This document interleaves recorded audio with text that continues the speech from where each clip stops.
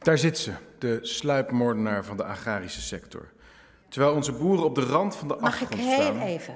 doet minister Schouten Mag er ik alles heel aan even? U gaat toch niet de minister sluipmoordenaar noemen? van de agrarische sector. Nee, dat kan niet. Neem het terug. Dit kan echt niet. Het gaat te ver. Nou, dan vind ik het echt stuitend dat u dat zegt. Daarvan neem ik dan kennis. Terwijl onze boeren op de rand van de afgrond staan, doet minister Schouten er alles aan. Ja, ze de heer. Geurts. De heer Geurts. Ja, voorzitter, ik vind deze aantijging echt niet kunnen. En ik ondersteun de oproep van onze Kamervoorzitter om deze woorden mee te nemen.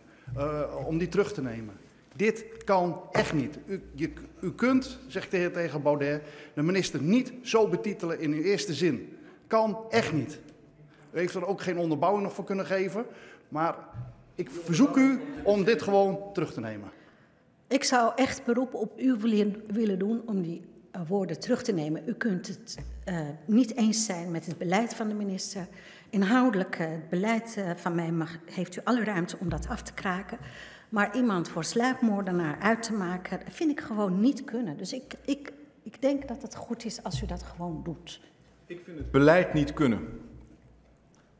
Ik vind het beleid niet kunnen wat wordt gemaakt in Nederland. Ik vind de besluiten die worden genomen niet kunnen. En ik vind dat er een sluipmoord wordt ondernomen op onze agrarische sector.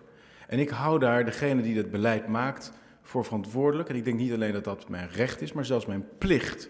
Want het is onze taak als volksvertegenwoordigers om op het scherp van de snede beleid te bekritiseren, om alternatieven voor te stellen en om op te komen voor de mensen in Nederland. Ja, maar niet om een minister voor sluipmoordenaar uit te maken. Dat kan gewoon niet. Daar zit ze, Dat is de minister. de sluipmoordenaar van de democratie. Kaisha Olongren, de D66-demoniseringsminister, de censuur-tsarina. Degene die namens het kabinet Rutte onze vrije samenleving wil ondermijnen. Degene die Forum voor Democratie een bedreiging noemde voor de democratische rechtsstaat.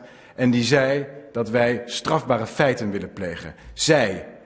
Ze is zelf de grootste bedreiging voor de democratische rechtsstaat. Meneer. En het is alsof ze ons ook nog allemaal arrogant in het gezicht uitlacht, terwijl ze de democratische rechten van de Nederlanders om zeep helpt, nu ze daarbij de zorgvuldige Nederlandse wetgevingsprocessen vertrapt, negeert en aan haar hoge laarzen lapt. De heer Baudet, we hebben vorige keer bij de eerste termijn afgesproken dat we de minister als minister aanspreken omdat zij in vak K zit namens de kroon en niet als persoon en ook niet als een D66er. En ik zou willen dat u dat respecteert. Dus spreek de minister als minister aan en geen persoonlijke kwalificaties.